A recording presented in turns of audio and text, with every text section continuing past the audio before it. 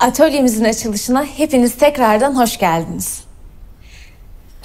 Dilerim hepimize başarı getirsin.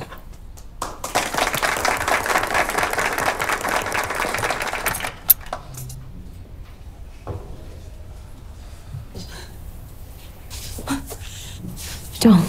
Hayırlı uğurlu olsun. Hayırlı olsun. Teşekkürler. Hocam hayırlı olsun. Teşekkürler. Hayırlı olsun. Hocam hayırlı olsun. Hayırlı olsun. Hayırlı olsun hocam. Hoş geldin. Ee, ne oldu anlat hemen.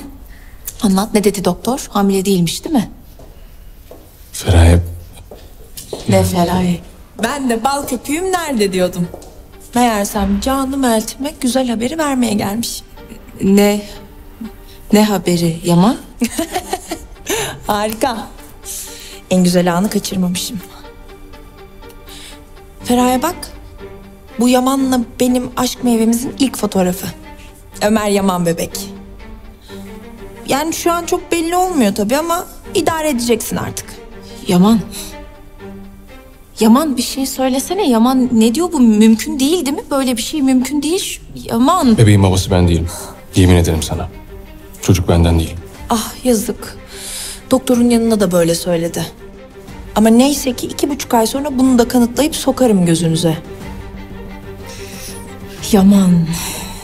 Dayanamıyorum ben. Bir şey yap bak. Dayanamıyorum. Asıl sen bir şey yapacaksın Feraye Hanım. Mesela eteğimizde çok fazla dolaşmayacaksın. Kocamdan uzak duracaksın. Yaman beni seçti. Benimle evlendi ve benden çocuğu olacak. Anla artık. Yeter! Ben seni seçmedim. Seninle evlenmek de istemedim. Tamam mı? Ya senden çocuk yapmayı bırak. Ben sana asla dokunmadım ya. Şimdi o bebeğin babası her kimse bir an önce onun yanına git. Ya anla be artık anla anla. Ben seni sevmiyorum. Tamam mı? Bir kadın olarak da sevmiyorum, insan olarak da seni sevmiyorum. Her şey senin o şeytan annenin bana şantaj yapması yüzündendi tamam mı? Ulan insan biraz gururlu olur ya. Bırak düş yakamdan artık. Neden şantaj yaptı ki annem sana? N- ne yaptın sen? Feraye. Yanıma gelir misin lütfen?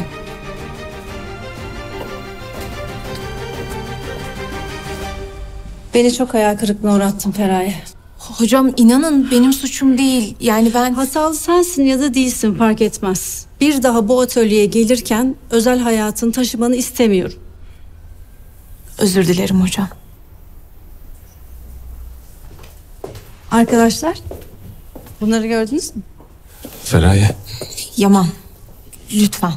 Şimdi olmaz. Sen git ne olur.